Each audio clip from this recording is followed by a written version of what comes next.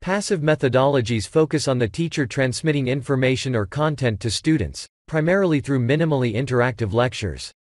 In this approach, the teacher presents information in a logical and structured manner, gives examples, solves problems on the board, proposes tests, and corrects assignments. It's very likely that the role of students is reduced to receiving and accepting the teacher's knowledge. That is, they are sitting copying what the teacher writes, reading materials, or doing homework for another class. When the teacher asks questions, students often hide to avoid answering them. At the end of the class, they are sometimes given similar homework to what was done in class. This approach fosters superficial and rote learning in students. Active methodologies are an alternative for teaching theoretical classes, because in practice and seminars, they should always be active by definition. They require more intense student participation in their learning, moving from receiving information to evaluating and organizing knowledge.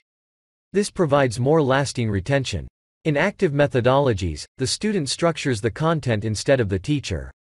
By getting involved in shaping the content, students gain a better understanding than with passive approaches.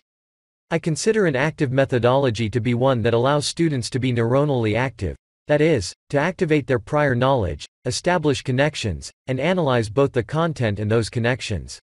This can be achieved with a brilliant lecture, group dynamics, PBL, or other methodologies that redesign a course or degree. The lecture can also be transformed into an active lecture.